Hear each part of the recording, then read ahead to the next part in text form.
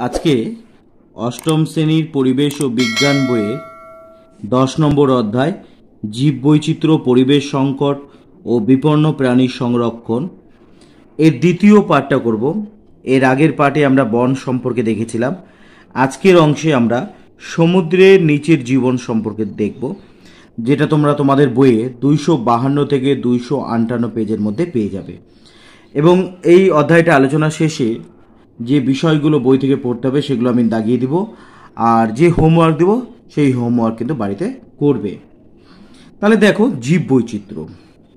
প্রথম কথায় রয়েছে জীব বৈচিত্র্য। আমরা এর আগের ভিডিওতে বলেছি যে কোনো একটা জায়গায়, কোনো একটা নির্দিষ্ট অঞ্চলে বিভিন্ন ধরনের উদ্ভিদ এবং প্রাণীর সহাবস্থানকেই আমরা বলে থাকি জীব বৈচিত্র্য। যেমন স্থলভাগে জীব বৈচিত্র্য দেখা যায়, তেমনি কিন্তু সমুদ্রের নিচেও জীব বৈচিত্র্য কিন্তু দেখা যায়। তোমরা জানো যে সমুদ্রের মধ্যে জোয়ার এবং ভাটা হয়। এটা কিন্তু সমুদ্রের একটা বৈশিষ্ট্য, জোয়ার, ভাটা। জোয়ারের সময় কি হয়? জোয়ারের সময় কিন্তু জলটা ফুলে ওঠে। অর্থাৎ জল অনেক দিন, অনেক দূর পর্যন্ত কি হয়? ছড়িয়ে যায়। আবার যখন ভাটা হয় তখন কিন্তু জল কিন্তু আবার আগের জায়গায় চলে যাবে। তো এই যে জোয়ার ভাটার এই যে মাঝের যে জায়গাটা থাকে, সেই মাঝের জায়গায় কিন্তু প্রচুর ধরনের আমরা লাইকেন দেখতে পাবো। লাইকেন তোমরা জানো যে এটি একটি হচ্ছে মিথজীবী। লাইকেন হচ্ছে একটা নাম যেখানে কি হয়ে থাকে, ছত্রাক এবং শৈবাল একসাথে সহাবস্থান করে। তাকে আমরা বলে থাকি হচ্ছে লাইকেন এটা মিথজীবিতা ধর্ম দেখা যায় লাইকেনের ক্ষেত্রে। তাহলে লাইকেন দেখা যায়, শ্যাওলা দেখা যায়, বিভিন্ন ধরনের শ্যাওলা দেখা যায়। এছাড়া শামুক দেখতে পাবে, শামুক, ঝিনুক, এই ধরনের বিভিন্ন প্রাণী এই অঞ্চলে কিন্তু দেখা যায়। তাহলে জোয়ারের জল যতখানি পর্যন্ত যায়, ভাটার সময় কিন্তু ঠিক ততখানি পর্যন্ত ও নিচের দিকে নেমে আসে। এই মাঝের জায়গাতে কি দেখা যায়? লাইকেন, শ্যাওলা, শামুক, ঝিনুক, এছাড়া এছাড়াও কিন্তু ছোট ছোট প্রাণী, যেমন হচ্ছে কাঁকড়া, সাগর কুসুম, তারা মাছ এদেরকে কিন্তু এই অংশে আমরা দেখতে পাই। এরপরে চলে আসো মহিষোপান। এগুলো কিন্তু সবই কিন্তু সমুদ্রের নিচের যে জীবন, যে জীববৈচিত্র্য, তারই কিন্তু এগুলো সব অন্তর্ভুক্ত। তাহলে মহিষোপান কি? মহিষোপান কাকে বলে? এইটা আমাকে জানতে হবে। মহিষোপান হচ্ছে মহাদেশের একটা অংশ সমুদ্রের নিচে থাকে। সেটাকে আমরা বলে থাকি হচ্ছে মহিষোপান। তাহলে মহাদেশের একটা অংশ সমুদ্রে ডুবে থাকে, একে বলা হয় মহিষোপান। ঠিক মহিষোপানের ওপরে যে জল থাকে, সেই জলের মধ্যেও প্রচুর ধরনের কিন্তু প্রাণী আমরা দেখতে পাই। তার মধ্যে কিছু অমেরুদণ্ডী প্রাণী আছে, ছোট মাছ আছে সি কাউ সি হর্স এবং চিংড়ি, বিভিন্ন প্রকারের চিংড়ি মাছ কিন্তু এই অঞ্চলে দেখা যায়। এছাড়া কি হয়ে থাকে? এছাড়া কচ্ছপের দেখা এই অঞ্চলে মিলে থাকে। তাহলে বিভিন্ন ধরনের প্রাণী কিন্তু এই অঞ্চলেও আমরা দেখে থাকি। এইবারে যে বিস্তৃত যে সমুদ্রের যে অঞ্চল, সমুদ্রের বিস্তৃত অঞ্চলের মধ্যে, সমুদ্রের বিস্তৃত যে অঞ্চল, বাকি যে অঞ্চলটা থাকল, সেখানেও বিভিন্ন ধরনের অমেরুদণ্ডী এবং মেরুদণ্ডী প্রাণী দেখা যায়।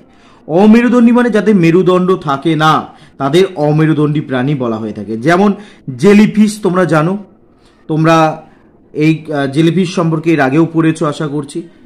তাছাড়া সাগর কুসুম থাকে এখানে। সাগর কুসুম। এছাড়া চিংড়ি চিংড়ি মাছও এখানে দেখা যায়। এটাও কিন্তু অমেরুদণ্ডী প্রকৃতির হয়ে থাকে। এবং কিছু মেরুদণ্ডী প্রাণী মেরুদণ্ডী প্রাণীও কিন্তু এই অঞ্চলে কিন্তু দেখা যায়। সমুদ্রের বিস্তীর্ণ যে অঞ্চল, তার মধ্যে কিছু মেরুদণ্ডী প্রাণী।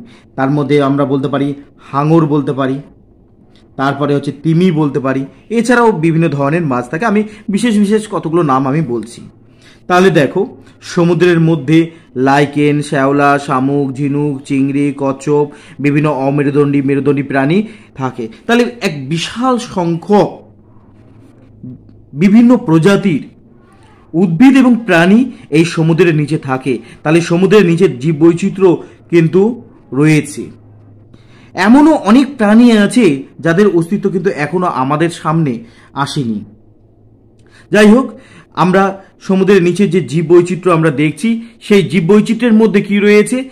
সেখানে কিন্তু উদ্ভিদ যেমন রয়েছে, তেমনি প্রাণী রয়েছে। যেমন শ্যাওলা ধরনের উদ্ভিদ থাকে, তেমনি জেলিফিস ধরনের মাছও এখানে থাকে। অর্থাৎ উদ্ভিদ এবং প্রাণী উভয় কিন্তু সমুদ্রের নিচে থাকে। যেমন উদ্ভিদ যেমন রয়েছে, বিভিন্ন ধরনের উদ্ভিদ, শুধুমাত্র শ্যাওলা নয়, বিভিন্ন ধরনের উদ্ভিদ এখানে থাকে। এছাড়াও রয়েছে বিভিন্ন ধরনের প্রাণী। স্থলভাগে যেমন প্রাণীদের খাদ্যের উৎস কি? উদ্ভিদ। তেমনিভাবে সমুদ্রের নিচের যে প্রাণী আছে, তাদেরও খাদ্যের উৎস হচ্ছে উদ্ভিদ। উদ্ভিদরা কি করে? উদ্ভিদরা জানো তোমরা? সালোক সংশ্লেষ প্রক্রিয়ায় খাবার তৈরি করে। সমুদ্রের নিচে যে উদ্ভিদগুলো রয়েছে, সেই উদ্ভিদগুলো কীভাবে খাবার তৈরি করে? দেখো, সমুদ্রের নিচে তো প্রাণী রয়েছে। প্রাণীরা শ্বাসকার্য চালানোর জন্য কি ত্যাগ করে? কার্বন ডাই অক্সাইড ছাড়ে। সেই কার্বন ডাই অক্সাইডের সাহায্যে, ক্লোরোফিলের সাহায্যে এবং সূর্যালোকের সাহায্যে কি করে থাকে? উদ্ভিদরা খাবার তৈরি করে। এই প্রক্রিয়াটার নাম হচ্ছে সালোক সংশ্লেষ। তাহলে আমরা কি দেখছি? আমরা দেখছি যে স্থলভাগে উদ্ভিদেরা যেমন খাবার তৈরি করতে পারে, তেমনিভাবে সমুদ্রের নিচে যে সমস্ত উদ্ভিদগুলো রয়েছে, তারাও কিন্তু খাবার তৈরি করতে পারে। তো এই যে সমস্ত উদ্ভিদগুলো খাবার তৈরি করতে পারে, নিজেরা খাবার নিজেরা তৈরি করতে পারে, তাদেরকে আমরা বলে থাকি হচ্ছে ফাইটোপ্লাংটন আণুবীক্ষণিক এক প্রকার উদ্ভিদ। তাহলে উদ্ভিদের খাবারের জন্য খাবার তৈরির জন্য সূর্যালোক প্রয়োজন হয়ে থাকে। কিন্তু তোমরা জানো যে সমুদ্রের যত নিচে যাওয়া যাবে, তত কিন্তু সূর্যের আলোর পরিমাণটা কমতে থাকবে। কমতে থাকার ফলে এমন একটা জায়গা তৈরি হবে যে জায়গার মধ্যে কিন্তু কোনো রকম আলো প্রবেশ করতে পারবে না। সমুদ্রের একেবারে গভীরে, যেখানে সূর্যের আলো প্রবেশ করতে পারে না, সেখানে যে সমস্ত প্রাণীগুলো বসবাস করে, তাদের চলাফেরার জন্য। কি করে? না, ওই প্রাণীগুলো নিজেরাই থেকেই আলো তৈরি করতে সক্ষম হয়ে থাকে। এই সমস্ত প্রাণীদেরকে আমরা কি বলে থাকি? শীতল আলোযুক্ত প্রাণী বলে থাকি। শীতল আলো বলে থাকি। এরা যে আলোটা তৈরি করে, সেই আলোটাকে আমরা বলি হচ্ছে ঠান্ডা আলো। এবং এই জীবগুলোকে একসাথে বলা হয়ে থাকে কি? বায়োলুমিনেসেন্স। বায়ো মানে হচ্ছে জীব। তোমরা জানো, বায়ো কথার অর্থ হচ্ছে জীব। আর লুমিনিসেন্স, লুমিনিসেন্ট প্রাণী আমরা এদেরকে বলে থাকি। তার মানে বায়ো মানে হচ্ছে প্রাণী লুমিনেসেন্স মানে আলো। তাহলে যে সমস্ত প্রাণীরা আলো তৈরি করতে পারে, তাদের আমরা বলে থাকি হচ্ছে বায়োলুমিনেসেন্স প্রাণী বলে থাকি। বিভিন্ন ধরনের প্রাণী, তোমরা জেলিফিস দেখে থাকবে। জেলিফিসরাও নিজের আলো নিজেরা তৈরি করতে সক্ষম হয়ে থাকে। তাহলে কীভাবে আলো তৈরি করতে পারে, কেমন করে এই আলো তৈরি হয়, সেটা কিন্তু আমাদের কিন্তু জানতে হবে। ওখানে কি থাকে? এদের শরীরের মধ্যে এক ধরনের প্রোটিন প্রোটিন থাকে। সেই প্রোটিনের সাথে এক ধরনের রঞ্জক পদার্থ থাকে। সেই রঞ্জক পদার্থের নাম হচ্ছে লুসিফেরিন। রঞ্জক পদার্থের নাম হচ্ছে লুসিফেরিন। এর সাথে এক ধরনের উৎসেচক, যার নাম হচ্ছে লুসিফারেজ। এর মধ্যে কি হবে? এর মধ্যে বিক্রিয়া হবে।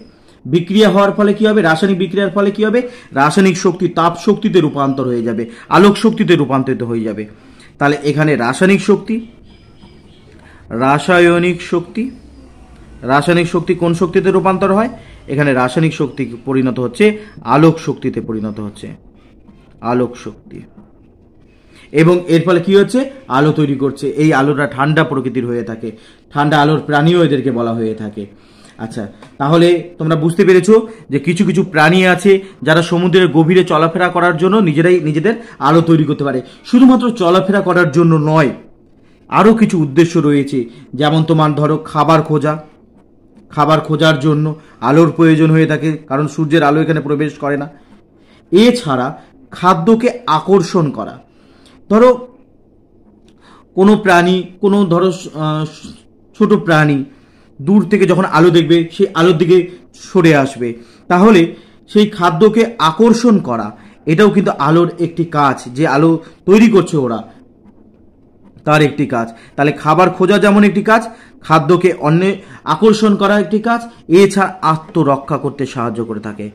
আত্মরক্ষাতে সাহায্য করে থাকে। ধরো, কোনো বড় প্রাণীরা যদি একে আক্রমণ করতে আসে, তখন এরা এই আলো তৈরি করবে এবং আলোর দেখে ওই বড় প্রাণী হকচকিয়ে সেখান থেকে পালিয়ে চলে যাবে। অর্থাৎ এই যে বায়োলুমিনেসেন্স প্রাণী সেই প্রাণীগুলো কি করছে? আলো তৈরি করছে। আলো তৈরি করার একটা উদ্দেশ্য তো দেখতে সাহায্য করছে।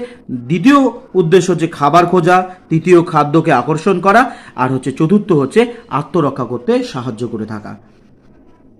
এবং এই সমস্ত প্রাণীগুলো, এই যে বায়োলুমিনেসেন্স যে জীব আমি বললাম, এটা সমুদ্রে প্রায় দুশো থেকে দুশো থেকে হাজার মিটার গভীরতায় কিন্তু এদেরকে দেখতে পাওয়া যায়। তাহলে আশা করি এই ব্যাপারটা বুঝতে পেরেছ।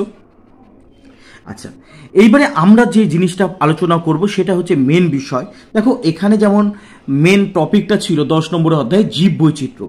আমরা এই যে আলোচনা থেকে আমরা দেখলাম যে সমুদ্রের নিচে কি রয়েছে, প্রচুর জীব বৈচিত্র্য রয়েছে। কি রয়েছে? বিভিন্ন ধরনের উদ্ভিদ যেমন রয়েছে, তেমনি বিভিন্ন ধরনের প্রাণী রয়েছে, জীব বৈচিত্র্য রয়েছে। কিন্তু আমাদের আরেকটা টপিক ছিল জীব বৈচিত্র্য আর হচ্ছে পরিবেশ সংকট। এখন কি হয়েছে? সমুদ্রর জল কি হয়েছে দূষিত হয়ে যাচ্ছে। এবং সেই দূষণ আমাদের এখানে পড়ার বিষয়। দূষণের ফলে কি হচ্ছে? যে সমস্ত সামুদ্রিক প্রাণীগুলো আছে, তাদের জীবন সংশয় দেখা দিয়েছে। তাহলে কি জন্য সমুদ্রের দূষণ হচ্ছে? কারণগুলো কি? সমুদ্র দূষণের কারণ, এইটা কিন্তু তোমাদের পড়তে হবে। সমুদ্র দূষণের কারণ, কি কি কারণে সমুদ্রটা দূষিত হচ্ছে? সর্বোপরি যে কারণটা আমরা পাবো, সেটা কি? রাসায়নিক সার, জমিতে দেখো রাসায়নিক সার প্রয়োগ করা হয়। সেই রাসায়নিক সার কি হচ্ছে? জলে ধুয়ে নদীতে পড়ে, নদীর জল সমুদ্রে গিয়ে পড়ে। তাহলে রাসায়নিক সার কোথায় গিয়ে পড়ছে? শেষ পর্যন্ত কিন্তু সমুদ্রের জলে গিয়ে পড়ছে। সমুদ্রের জলকে কি করছে? দূষিত করে দিচ্ছে। কীভাবে দূষিত করছে? দেখো, রাসায়নিক সার হচ্ছে যে সমস্ত ফাইটোপ্ল্যাংটন আমি বললাম, খাবার তৈরি করতে সক্ষম যে প্রাণীগুলো রয়েছে, তাদের খাদ্য হিসাবে এগুলো ব্যবহার হয়। এর ফলে কি হচ্ছে? ওই ফাইটোপ্ল্যাংটনের সংখ্যাটা কিন্তু খুব দ্রুত হারে বেড়ে যাচ্ছে, যাকে আমরা বলে থাকি হচ্ছে অ্যালগাল ব্লুম। একে তাহলে আমরা কি বলছি? অ্যালগা, অ্যালগাল ব্লুম আমরা বলে থাকি। তাহলে তোমরা বুঝতে পেরেছ? তাহলে ফাইটোপ্ল্যাংটন বেড়ে যাচ্ছে, কেন বাড়ছে? কারণ রাসায়নিক সার তাদেরকে পুষ্টি দিচ্ছে। পুষ্টি পেলেই তার বৃদ্ধি ভালো হবে। তাহলে এই যে বলছি, সমুদ্রের নিচে তাহলে কে থাকছে? সমুদ্রের নিচে থাকছে হচ্ছে ফাইটোপ্ল্যাংটন ফাইটোপ্ল্যাংটন কি? ফাইটোপ্ল্যাংটন হচ্ছে যারা নিজের খাদ্য নিজেরা তৈরি করতে পারে, তাদেরকে আমরা বলে থাকি হচ্ছে ফাইটোপ্ল্যাংটন ফাইটোপ্ল্যাংটন বলে থাকি। ফাইটোপ্ল্যাংটন নিজের খাদ্য নিজেরা তৈরি করে এবং এরা এককোষীয় প্রকৃতির হয়ে থাকে। এককোষীয়। এবং এগুলো কিন্তু খালি চোখে দেখা যায় না। এককোষীয় এবং হচ্ছে আণুবীক্ষণিক হয়ে থাকে। আণুবীক্ষণিক হয়ে থাকে। খালি চোখে দেখা যায় না, এককোষী প্রকৃতির হয়ে থাকে। এই ফাইটোপ্ল্যাংটনের মধ্যে আবার আমরা দেখব কতগুলো প্রজাতি আছে। যেমন একটা হচ্ছে ডায়াটম ডায়াটম একটা প্রজাতি। ডায়াটম এককোষী হয়ে থাকে এবং ডায়াটমের ক্ষেত্রে আমরা দেখব যে কোষ প্রাচীর। যেহেতু উদ্ভিদ, এরা যেহেতু উদ্ভিদ উদ্ভিদের ক্ষেত্রে কোষ প্রাচীর থাকে। এখানে কোষ প্রাচীর কি দিয়ে তৈরি? এদের কোষ প্রাচীর হচ্ছে সিলিকা নির্মিত হয়ে থাকে। তাহলে কোষ প্রাচীর কি নির্মিত হয়ে থাকে? কোষ প্রাচীর হচ্ছে সিলিকা নির্মিত হয়ে থাকে। সিলিকা নির্মিত। তাহলে আমরা জানি যে উদ্ভিদের ক্ষেত্রে, উদ্ভিদ কোষের ক্ষেত্রে কিন্তু কোষ প্রাচীর থাকে। ডায়াটমের ক্ষেত্রে আমরা দেখছি কোষ প্রাচীর কি দ্বারা নির্মিত? সিলিকা নির্মিত হয়ে থাকে। আর এরা একসাথে কি হয়ে থাকে? অনেকগুলো একসাথে থাকে। ডায়াটমগুলো একসাথে শৃঙ্খলভাবে অনেক সংখ্যক একসাথে থাকে। থেকে কি করে? কলোনি তৈরি করে থাকে। কলোনি তৈরি করে থাকে। তাহলে ডায়াটম কিন্তু এক প্রকার হচ্ছে কি? না ফাইটোপ্ল্যাংটন এছাড়া আর একটা ফাইটোপ্ল্যাংটন আমরা পড়ব, সেটা হচ্ছে কি? ডিনোফ্লাজেলেট ডিনোফ্লাজেলেট এগুলো কিন্তু তোমাদের কিন্তু মুখস্থ রাখতে হবে এই নামগুলোকে। এরাও কিন্তু কি হয়ে থাকে? এরাও এককোষী প্রকৃতির হয়ে থাকে। কিন্তু এদের ক্ষেত্রে একটু পার্থক্য হচ্ছে, এদের কোষ প্রাচীর কিন্তু সিলিকা নির্মিত নয়। এদের কোষ প্রাচীর সিলিকা নির্মিত নয়, আর এরা কিন্তু কলোনি তৈরি করে থাকে না। এরা স্বাধীনভাবে থাকতে পারে। তাহলে ডায়াটম আর ডিনোপ্লাজেলেটের যদি পার্থক্য বলা হয়, তাহলে কোষ প্রাচীর একটা পার্থক্য হবে। কি? না, ডায়াটমের ক্ষেত্রে কোষ প্রাচীর সিলিকা নির্মিত ডিনোপ্লাজেটের কোষ প্রাচীর কিন্তু সিলিকা নির্মিত নয়। ডায়াটম একসাথে কলোনি তৈরি করে থাকে ডিনোপ্লাজেট একা থাকতে পারে, অর্থাৎ কলোনি তৈরি করে না। তাহলে এইটা তোমাদের এইচ ডব্লিউ থাকল, যে ডায়াটম আর হচ্ছে ডিনোফ্লাজেলেটের মধ্যে পার্থক্য। এই দুটো, এই একটা কিন্তু তোমাদের হোমওয়ার্ক থাকল।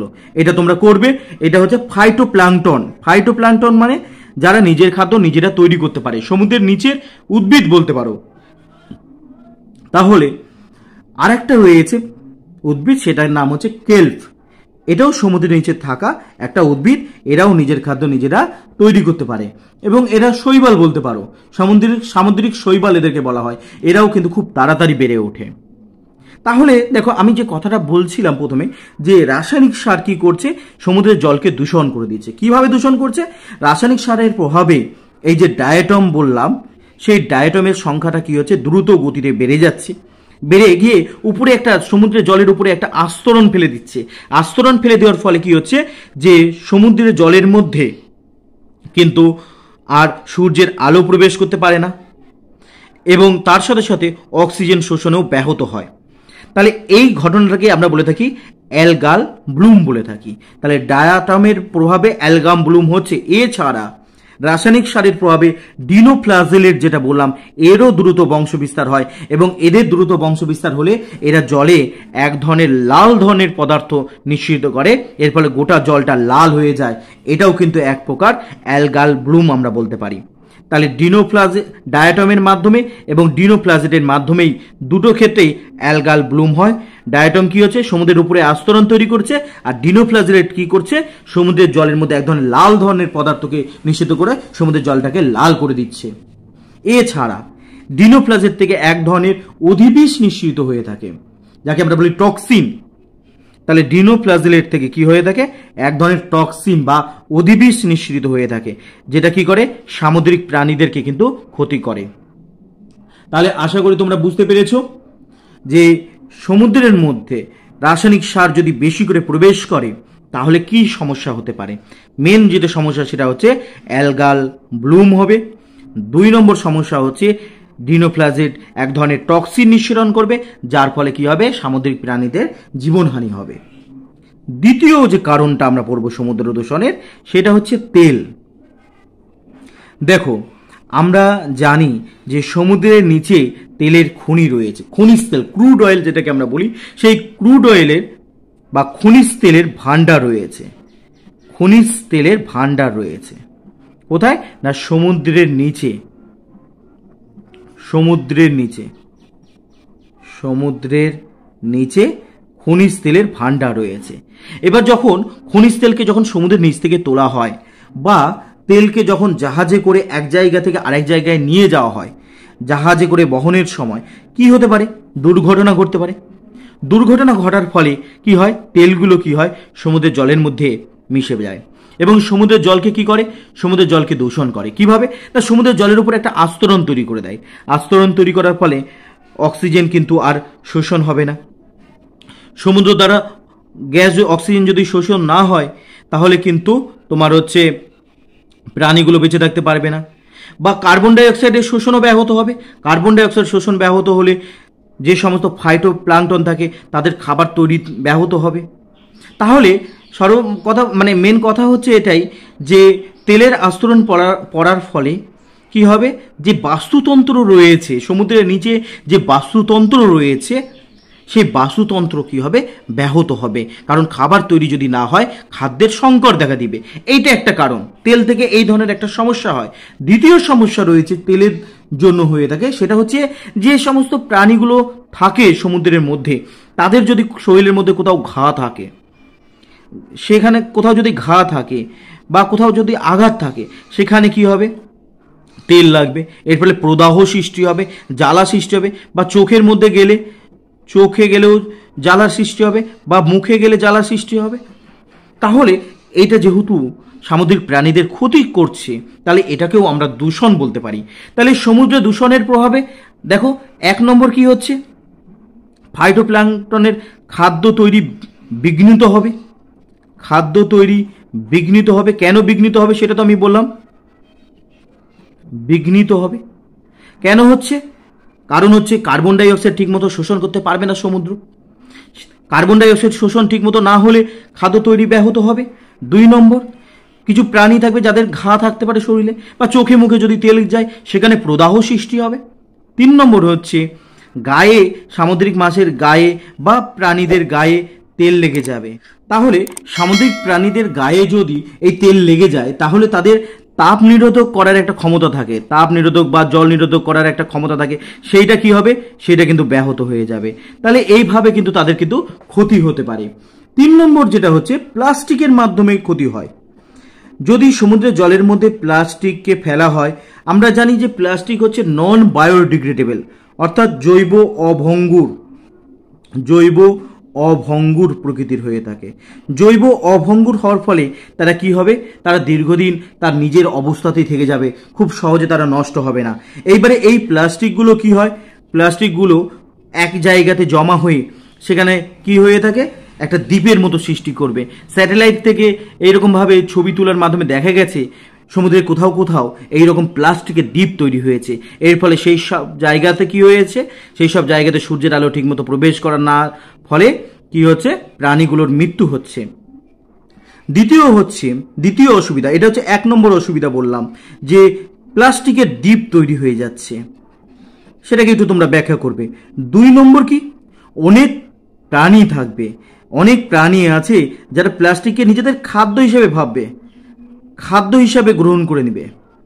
এবং খাওয়ার ফলে হবে? বড় প্লাস্টিক হলে সেটা তাদের কি হবে? শ্বাসনালীতে গিয়ে আটকে থাকবে বা খাদ্য নালীতে গিয়ে আটকে থাকবে। খাদ্য নালীতে যদি আটকে যায়, তাহলে কিন্তু তাদের মধ্যে কিন্তু আর খাদ্য গ্রহণ করলেও তারা মানে খাদ্যের নালীটা যদি আটকে যায়, তাহলে খাদ্য তারা আর গ্রহণ করতে পারবে না। এর ফলে অনাহারে তাদের কিন্তু মৃত্যু হবে। তাহলে প্লাস্টিক দূষণের প্রভাবে এই দুটো ক্ষতি হতে পারে। এছাড়া আমরা দেখেছি যে মানুষের যে ক্রিয়াকলাপ, দৈনন্দিন যে কাজকর্ম সেই কাজকর্মের প্রভাবে। কি হচ্ছে? কার্বন ডাই অক্সাইডের পরিমাণটা কি হয়েছে বেড়ে গেছে। এবং কার্বন ডাই অক্সাইড কি করে? কার্বন ডাই অক্সাইড সমুদ্রের জলের সাথে বিক্রিয়া করে কার্বনিক অ্যাসিড তৈরি করে এইচ টু সিও থ্রি তৈরি করে। যে কার্বনিক অ্যাসিড যত বেশি তৈরি হবে, জলের অম্লতা তত বেড়ে যাবে। আর যদি জলের অম্লতা বেড়ে যায়, তাহলে কিছু কিছু প্রাণী, যেমন তোমরা জানো যে কাঁকড়ার উপরে, কাঁকড়া বা লবস্টার হ্যাঁ এদের দেহের উপরে যে খোলস থাকে, সেই খোলসটা কি দিয়ে তৈরি? ক্যালসিয়াম কার্বনেট দিয়ে তৈরি, ক্ষার জাতীয় পদার্থ দিয়ে তৈরি এবং তার সাথে এই অ্যাসিডে বিক্রিয়া করে কি করবে? উপরের খোলসটাকে নষ্ট করে দিবে। এর ফলে এই সমস্ত প্রাণীগুলো, যারা খোলস যাদের রয়েছে, সেই সমস্ত প্রাণীগুলোর অস্তিত্ব কিন্তু বিপন্ন হয়ে পড়বে। তাহলে আশা করি তোমরা বুঝতে পেরেছ যে সমুদ্র দূষণ কি কীভাবে হয় এবং কীভাবে সেটা সমুদ্র সামুদ্রিক প্রাণীদের জীবন সংশয় ঘটাতে পারে।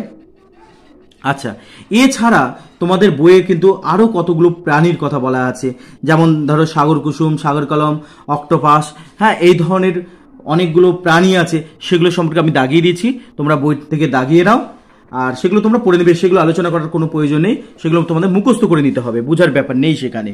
তাহলে প্রত্যেকে এবার দুইশো বাহান্ন নম্বর পেজ খুলো। দুইশো বাহান্ন নম্বর পেজে দেখো, সমুদ্রের নিচের জীবন আছে।